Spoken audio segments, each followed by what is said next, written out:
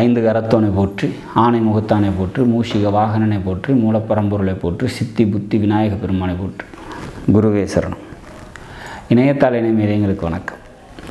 இது ஆவணி மாத ராசிக்குடன் ஆவணி மாதம் மிதுன ராசிக்கு எப்படி இருக்க போகுது அப்படிங்கிறத பார்க்கலாம்.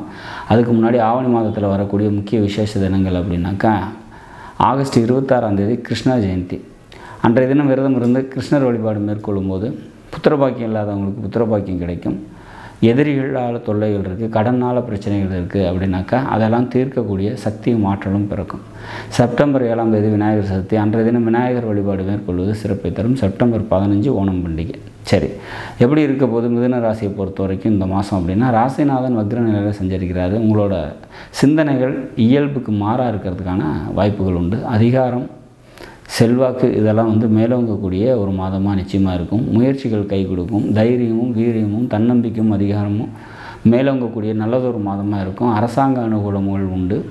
உங்களோட சிறுதூர பயணங்களால் நன்மைகள் ஏற்படும். மாமன் வெளி உறவினர்களால் நன்மைகள் ஏற்படக்கூடிய நல்லதொரு மாதமாக நிச்சயமாக இருக்கும் அப்படிங்கிறத நம்ம எதிர்பார்க்கலாம். பூர்வீகம் சம்மந்தப்பட்ட விஷயங்களில் ஆதாயமும் நன்மையும் பெருகக்கூடிய ஒரு மாதமாக நிச்சயமாக இருக்கும் அப்படிங்கிறத சொல்லலாம். படிச்சுட்டு இருக்கவங்களுக்கு படிப்பில் வந்து பார்த்திங்கனாக்கா கொஞ்சம் பின்னடைவுகளை சந்திக்கக்கூடிய சூழ்நிலைகள் இருக்கத்தான் செய்யும். ப்ரோக்கரேஜ் கமிஷன்ஸ் இந்த மாதிரி எழுத்து டாக்குமெண்டேஷன்ஸ் இது மாதிரி தொழில் செய்கிறவங்களுக்கு தொழில் நல்லாயிருக்கும் அப்படிங்கிற மாதிரியான ஒரு அமைப்பு இந்த மாதத்தை பொறுத்த வரைக்கும்.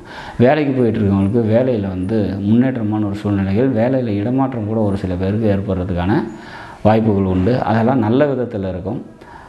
கௌரவமான அந்தஸ்தான ஒரு நிலைப்பாட்டில் வந்து பார்த்திங்கனாக்கா வாழ்க்கை சூழ்நிலை மாறக்கூடிய விதத்தில் இந்த ஆவணி மாதம் அமையும் அப்படிங்கிறது நம்ம உறுதியாக சொல்லலாம். இந்த மாதத்தை பொறுத்த வரைக்கும் பெருமாள் வழிபாடு உங்களுக்கு கூடுதல் நன்மையும் சிறப்பையும் தரும். இந்த மாதத்தில் சந்திராஷ்டம தினங்கள் அப்படின்னாக்கா ஆகஸ்ட் மாதம் பத்தொம்போது இருபது. இந்த ரெண்டு நாட்கள் வந்து சந்திராஷ்டம தினமாக வரதுனால அன்றைய தினம் முக்கிய முடிவுகளை எடுக்காதீங்க. வெளியூர் பயணங்களை தவிர்த்துருங்க. நாடும் நாட்டு மக்களும் நலமுடன் வாழ நவகிரகங்களை வேண்டி அமைகிறேன். நன்றி வணக்கம்.